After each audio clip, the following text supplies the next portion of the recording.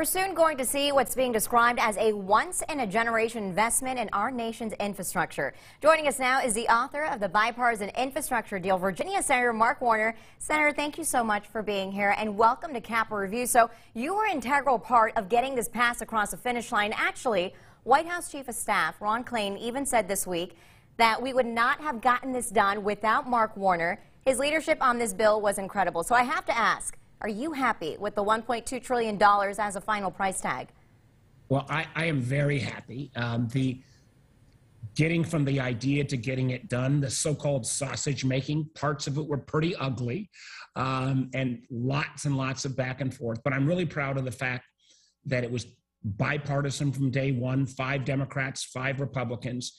And what we accomplished and what President Biden signed into law earlier in the week was the largest investment in infrastructure literally in 50 years. I mean, many people have compared this to what President Eisenhower did with the interstate system. And specifically, how will Virginia, from metropolitan Arlington to rural Shenandoah Valley, see the direct impacts from this plan? Great question, and I appreciate you asking that.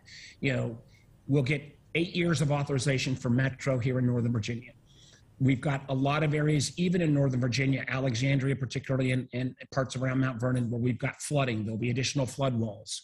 Um, we will double or build a new bridge across the Potomac called the Long Bridge, which will dramatically increase the rail capacity. Part of that will be benefits to VRE customers that go to Manassas or go to Fredericksburg, but it will also include passenger rail that will increase the number of trains to Richmond, to Roanoke, to beyond Roanoke down to Blacksburg for anybody that might be a Virginia Tech fan. Um, down in Hampton Roads, again, flooding and resiliency is a big issue. Uh, I've been in politics for 20 years in Virginia. I've been saying we've got to finish finally I 64 between Richmond and Hampton. That will get done. In far southwest Virginia, we've got a lot of communities that live in Appalachia that still don't have access to clean drinking water. Uh, there is a series of water uh, programs. And then two things that I think will benefit the whole state I know we want to try to move towards more electric vehicles, but people are worried about, you know, if I'm going a long distance, will there be a charging station? Uh, we will.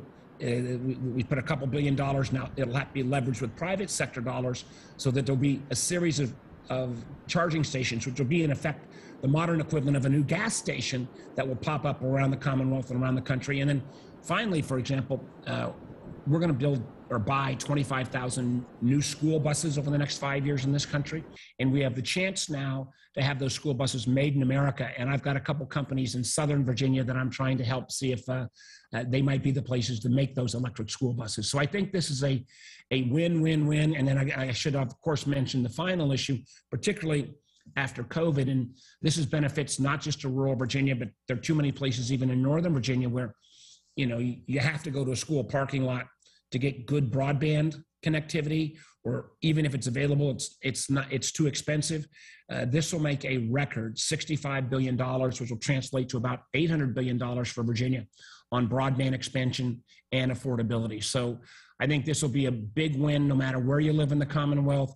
And one of one of my friends republican senators said you know what uh, there's not a Republican or Democrat pothole or broken bridge. They are things we all use as Virginians and Americans, and I think um, this will be a great investment moving forward. And you know, all this sounds wonderful. And now that it's law, of course, there are even more questions. So, what's the time frame of when the money will come, and who's actually going to make the decisions on where and which projects exactly that'll go to? Is, are those decisions usually made at the federal level, the state level, under a new governor now, or at the local level? And if it is at the local level, should residents then send in their feedback on the places that they'd like to see changes? Well, it, it really will vary by the program. For the most part, the roads and bridges, those will be made at the state level. That'll be made by our Commonwealth um, um, Transportation Board and the Department of VDOT. Um, at the broadband level, the funding may come from the state, but the, the actual implementation will be made at the local level. So contact your, your city council or your board of supervisors.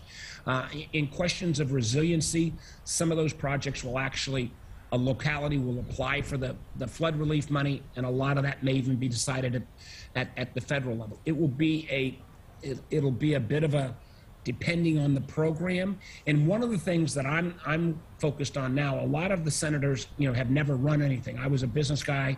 I was governor of Virginia. Virginia was named best managed state when I was governor. You know, the next really challenge is going to be how do we make sure this money is well spent, goes to the right projects? President Biden chose somebody I think is a really good guy. His name is Mitch Landrieu. He was the mayor of New Orleans after the debacle around Katrina and then became lieutenant governor.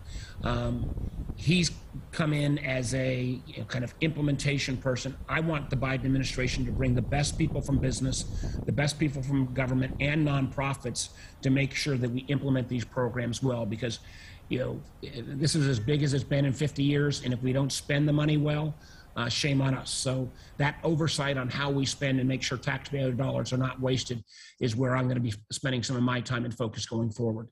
All right, we still got a lot to talk about with the center, including why China is a threat to the United States and the future of the Commonwealth under Governor-elect Glenn Youngkin. We'll be right back.